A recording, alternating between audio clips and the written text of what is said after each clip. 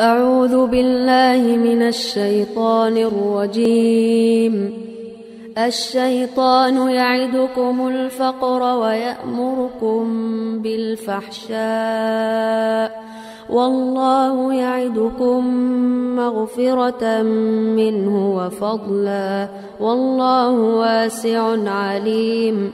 يؤتي الحكمة من يشاء. Ali Yakubov is no ordinary little boy. Every few days, verses of the Quran are said to appear on his skin, and Muslim pilgrims are gathering to catch a glimpse of the writing before it fades. Only one letter remains of this Quranic verse, be thankful or grateful to Allah, that was once printed along his leg. Religious leaders say the words appear once a week, usually on a Friday, and as these photographs show, it is always something different. The baby's mother says her son feels unwell each time the verses appear. The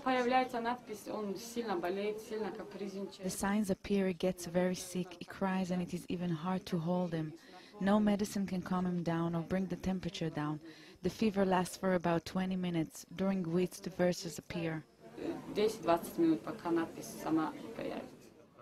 Her nine-month-old baby has become something of a celebrity, attracting crowds of up to 2,000 Muslims each day. For many, the Arabic writing is a message from God. It is proof that Allah exists, that He is Almighty, that He is with us, and that we are here for Him. I want first of all peace and stability, and I think that is why the Almighty has sent us this child. It is a sign that our brothers should become more devout. Islam in Russia is believed to have originated here in the North Caucasus region of Dagestan.